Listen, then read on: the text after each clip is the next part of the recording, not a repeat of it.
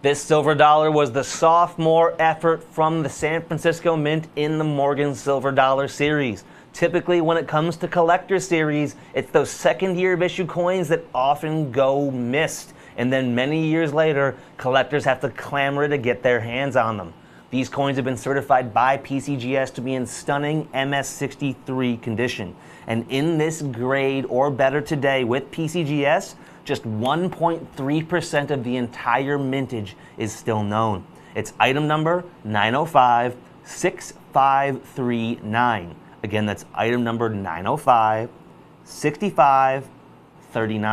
And at just 129.95 for each of these coins while our supplies last, we are more than $310 less than our nearest competition's price of upwards of $460. Only one in every 75 coins struck in the mintage is known to exist in this grade or better today, making it a coin I like to call a modern day collecting secret, because you would think it'd be a lot more abundant than it really is, and its prices with our competition reflect it. At more than $310 less, our coins are not going to last long, so please call in now and get yours while you still can.